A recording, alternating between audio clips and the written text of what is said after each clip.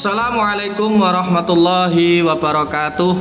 Sahabat-sahabati sekalian dan pemirsa sekalian yang dirahmati Allah Subhanahu wa taala.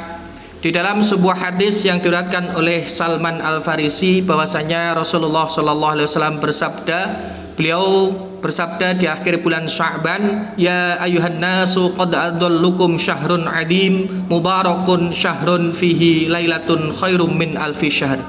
Jadi di sini Rasulullah bersabda bahwasanya bulan Ramadan ini merupakan di dalamnya yakni ada Lailatul Qadar, syahrun lailatun khairum min alfi syahr.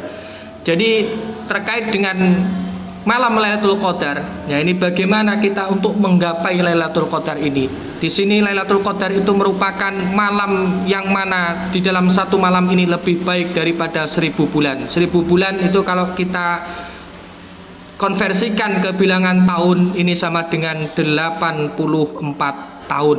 Ya, ini merupakan kesempatan bagi kita untuk memperoleh pahala yang di mana satu malam ini pahalanya adalah dilipat gandakan sebagaimana kita ibadah selama 84 tahun. Nah, lantas bagaimana caranya kita memperoleh malam Lailatul Qadar ini?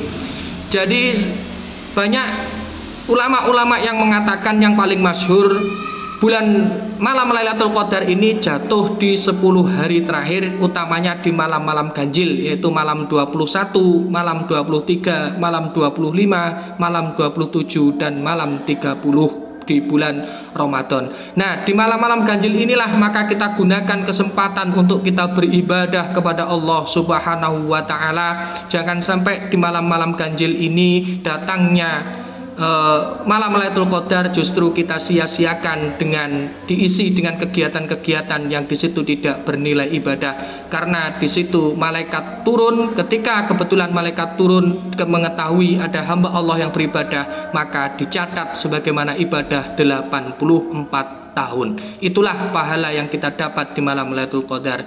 Demikian yang bisa saya sampaikan. Wallahul muwaffiq ila Assalamualaikum warahmatullahi wabarakatuh.